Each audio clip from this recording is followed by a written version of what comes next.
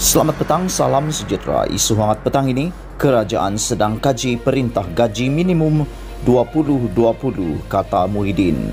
Berita sepenuhnya, kerajaan sedang menjalankan kajian semula perintah gaji minimum 2020.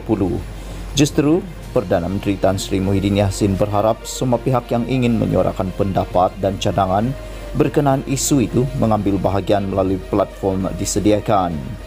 Beliau berkata kerajaan sentiasa prihatin terhadap isu gaji minimum dan akan berusaha memastikan ia kekal relevan dengan keadaan sosioekonomi semasa.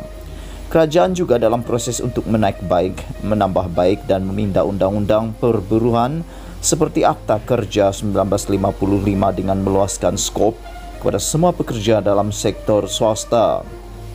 Ia tanpa mengira had gaji memanjangkan cuti bersalin kepada 90 hari dan pemberian cuti paternity selama 3 hari.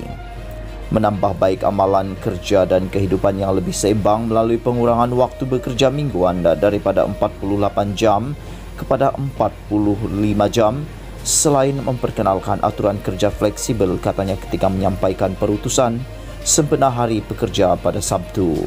Sekian isu hangat petang ini. Jangan lupa tekan butang subscribe dan kita jumpa lagi. Bye-bye.